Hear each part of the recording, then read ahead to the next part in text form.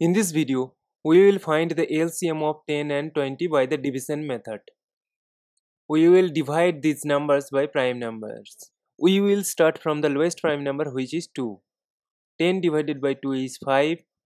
20 divided by 2 is 10. Now see that 2 divides at least one of the numbers. So we can divide them by 2. As 5 is not divisible by 2, we will write 5 as it is and 10 divided by 2 is 5. Now as 5 is only divisible by 5 so we will go for 5. Then we get 1 comma 1. Once we get 1 comma 1 we need to stop.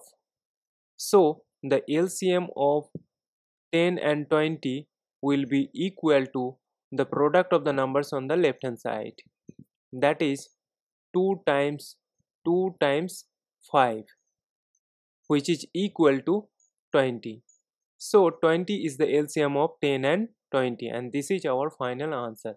Thank you for watching